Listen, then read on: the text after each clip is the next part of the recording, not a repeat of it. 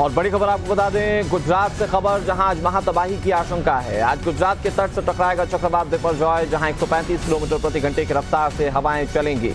कच्छ के तट से टकराएगा महाचक्रवात, सुरक्षित स्थानों पर भेजे गए हैं कुल पचहत्तर हज़ार लोग। तो आज को लेकर अलर्ट जो है वो जारी किया गया। तमाम रेस्क्यू टीम्स जो हैं वो पूरी तरह से तैयार हैं, क्योंकि आज ये चक्रवात लैंडफॉल करेगा।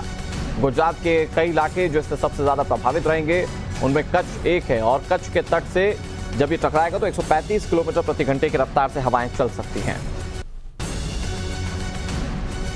और गुजरात में महातबाही की आशंका लगातार बनी हुई है, हालाँकि प्रशासन मुस्तैद है।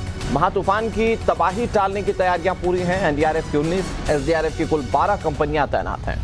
अलर्ट पर हैं कोस्ट गार्ड के सभी आठ स्टेशन कोस्ट गार्ड के 15 जहाज़ और सात एयरक्राफ्ट भी स्टैंड बाय पर तैयार रखे गए नेवी के हेलीकॉप्टर और प्लेन भी रेस्क्यू ऑपरेशन के लिए तैयार है।